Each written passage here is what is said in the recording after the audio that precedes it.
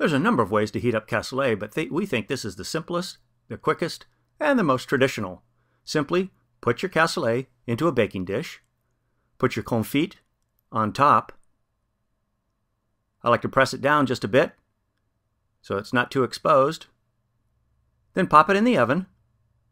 Bake it about 375 to 400 degrees for about 30 minutes or so. And when it comes out, it should be nice and brown. Like so.